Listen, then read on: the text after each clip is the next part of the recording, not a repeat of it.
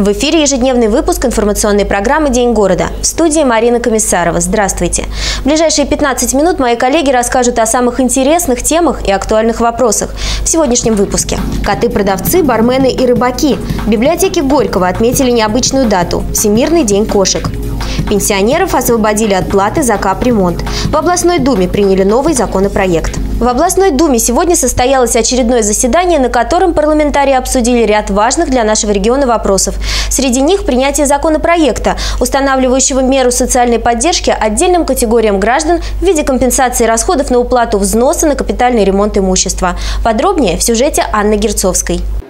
В декабре прошлого года были внесены изменения в жилищный кодекс. Поправки, в частности, предусматривали предоставление субъектам федерации права компенсировать расходы на уплату взносов на капремонт пожилым лицам многоквартирных домов. Рязанская область таким правом воспользовалась. Законодательная инициатива исходила от членов фракции «Единая Россия» в областной думе. Сегодня региональные парламентарии приняли закон сразу в двух чтениях. Определена э, возможность получения э, компенсации э, данным категориям граждан платы за капитальный ремонт. Люди, которые достигли 70 лет, освобождаются на 50%, то есть имеют возможность получения компенсации до 50% от платежа за коммунальный капитальный ремонт. И граждане, достигшие 80 лет, полностью освобождаются.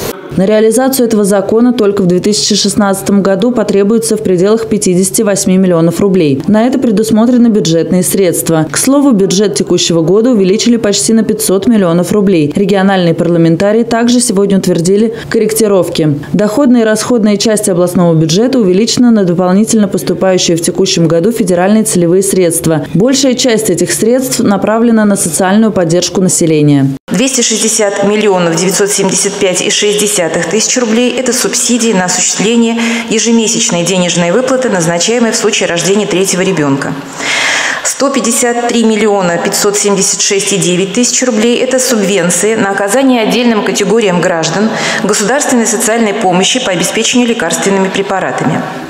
В сферу поддержки АПК дополнительно распределены средства в сумме 79 миллионов 954,6 тысяч рублей в части субсидий на финансовую поддержку организации агропромышленного комплекса.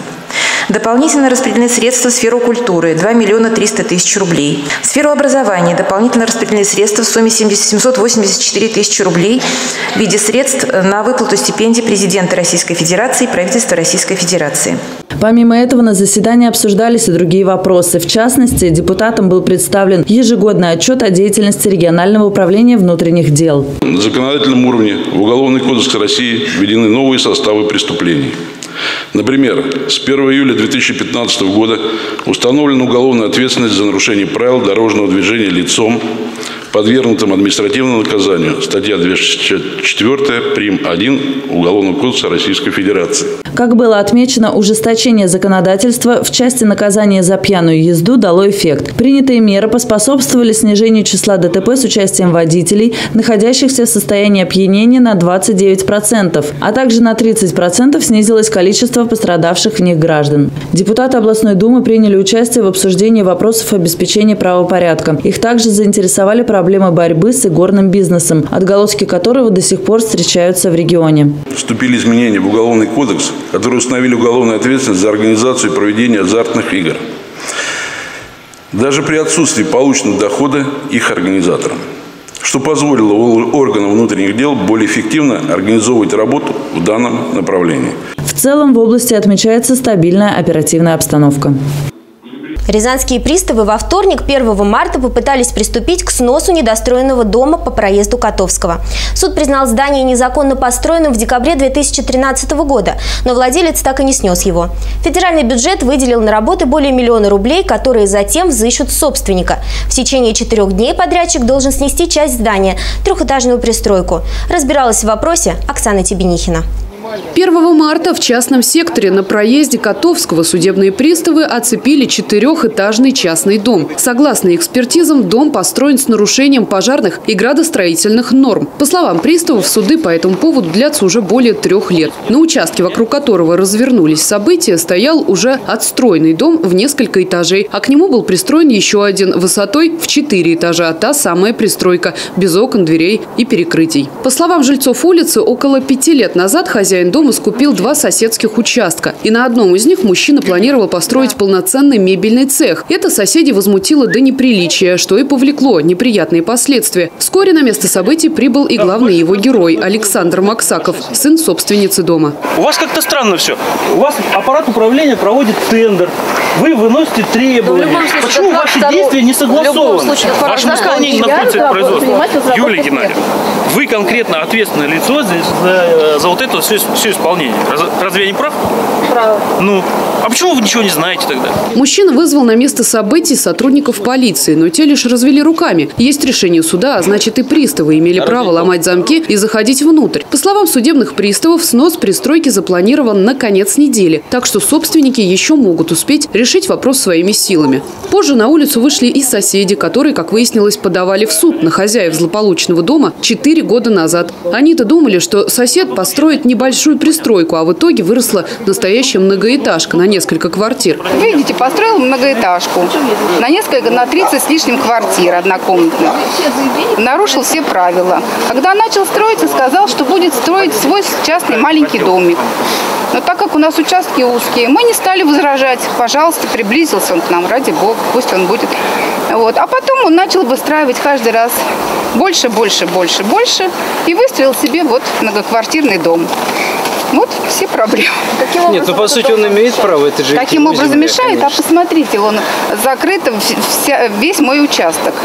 Если посмотреть со спутника, карту, то вот эта тень, она идет не на наш участок, а даже на соседний участок. Дело У нас в том, там что болото. нарушены все нормы, какие и есть. По, и пожарные. Градостроительные, пожарные, инсталляции. Без разрешения. У него разрешение только на частный, э, частный жилой дом. Согласно нормам, минимальное расстояние между домами при одноэтажной застройке 6 метров, а дом соседа стоит почти вплотную к чужому забору. Надо сказать, что мужчина предлагал соседям выкупить их дом и участок, чтобы он мог строить здесь все, что пожелает. Хозяева-то согласились, но, как видите, пока этот вопрос остается открытым.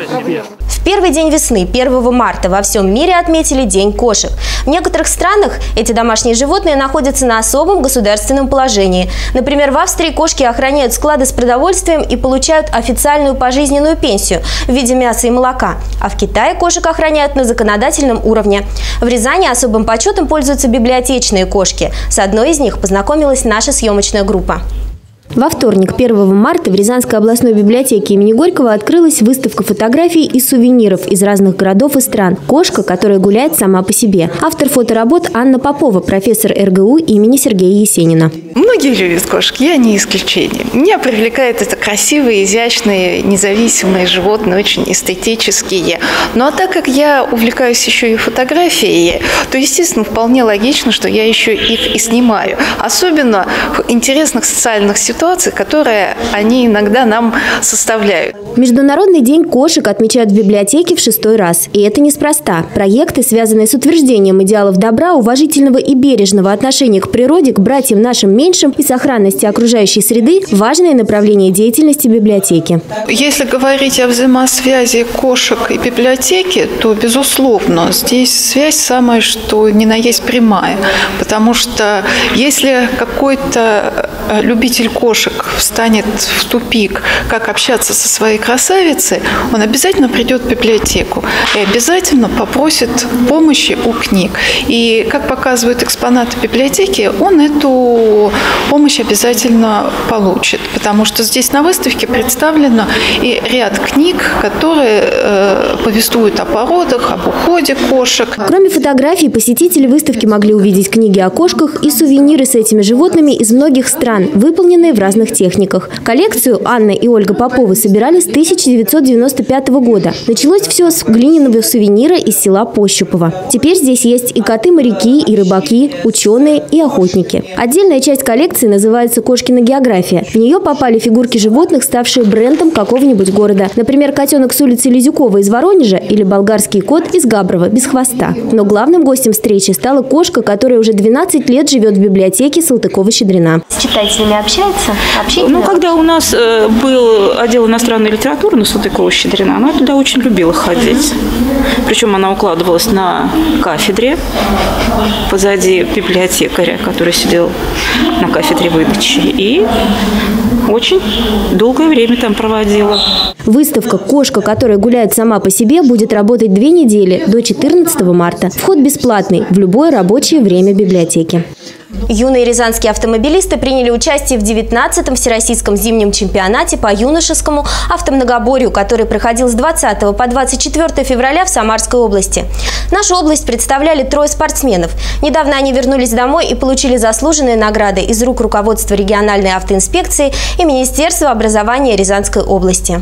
Госавтоинспекция Рязанской области совместно с Министерством образования региона летом прошлого года приняли решение о создании юношеской автомобильной школы на базе одной из автошкол города. Там подростки могут изучать правила дорожного движения. При этом теоретические знания они получают абсолютно бесплатно. В городе есть несколько точек, куда могут приходить ученики и получать знания у опытных инструкторов автошколы. В юношеской автомобильной школе занимается много учеников, и лучшие из них э, отправились на соревнования в Тольятти. Вот. И те э, ученики, которые занимаются в автошколе, мы надеемся, что они вырастут э, законопослушными участниками дорожного движения. В состязаниях приняли участие более 70 человек из около десятка регионов России. Свое мастерство в управлении автомобилем ребята показывали в трех возрастных категориях – с 7 до 13 лет, с 14 до 18 и с 18 до 21 года. Рязанскую область представляли три спортсмена. Все они подпадают под вторую возрастную группу. И хотя юным автомобилистам не удалось занять призовые призовых мест, кубок за слаженность и хороший результат в самой сложной номинации «Автослалом» ребята все-таки забрали. Ну а главные награды их ждали дома, где юноши отметили руководители региональной госавтоинспекции и Минобразования. Что было на соревнованиях? На соревнованиях был, были правила дорожного движения, и упражнения. Правила дорожного движения что все включали? На компьютерах? На компьютерах. И кто входил в личный зачет, те решали письменно на билетах. Угу. Вот, и вождение фигурное, и автослалом. Понятно. Эм, что больше всего запомнилось? Наверное, фигурное вождение. Ну, ПДД как бы. Они и везде ПДД, а вот фигурное вождение все-таки это уже... Давно в автошколе занимаешься? Полтора года. Полтора года. Угу. Нравится? Нравится. Эти ребята обучаются мастерству вождения в детской юношеской автошколе «Магистраль». Благодаря настойчивости и целеустремленности их педагога, данная автошкола принимает участие в соревнованиях такого уровня уже третий год подряд. В автошколе «Магистраль» проходит обучение еще много перспективных мальчишек и девчонок. Организация проводит занятия с подростками по безопасности дорожного движения на безвозмездной основе. В настоящий момент по данной программе проходит обучение около 70 человек. Основная цель всей этой этой работы – воспитание законопослушных участников дорожного движения и профилактика детского дорожно-транспортного травматизма. Безопасность и уверенность в завтрашнем дне – залог комфорта в жизни современного человека. Надежные и проверенные замки на дверях дома, офиса или дачного участка – первое, что может обеспечить комфорт. Вот почему сейчас по всему миру ведутся разработки самых современных дверных замков. Рязанский регион идет в ногу со временем. В нашем городе действует самый крупный в России поставщик дверных замков – торговая марка «Бордер».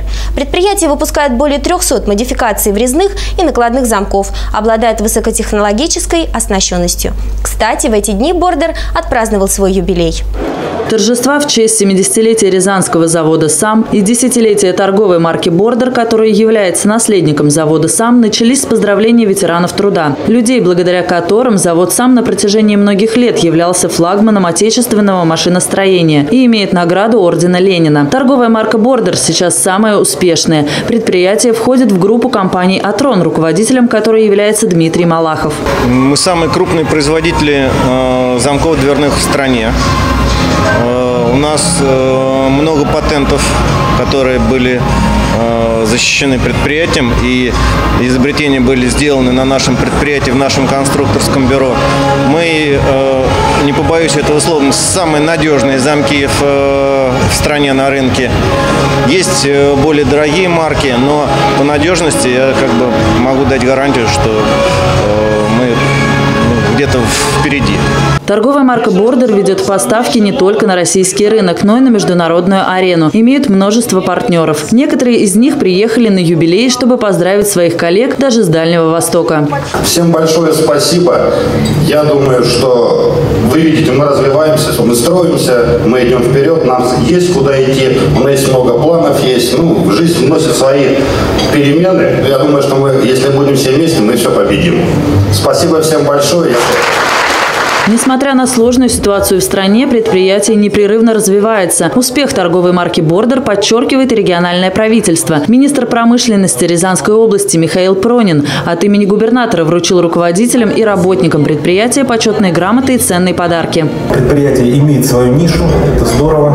Действительно, продукция известная. Э, и те непростые времена, которые на сегодняшний момент переживает наша страна и промышленность в целом.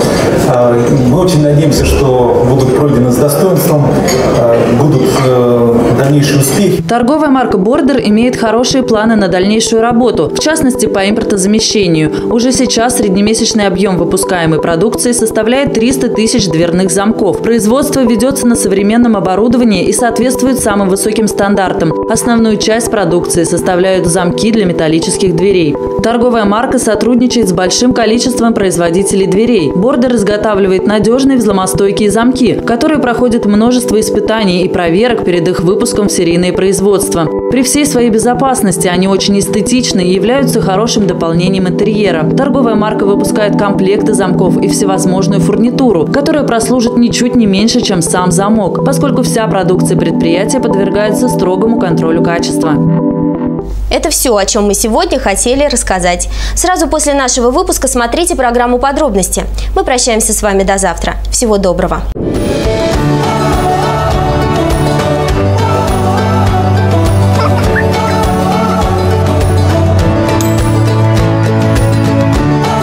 Комплекс «Вива». Как в городе, только лучше.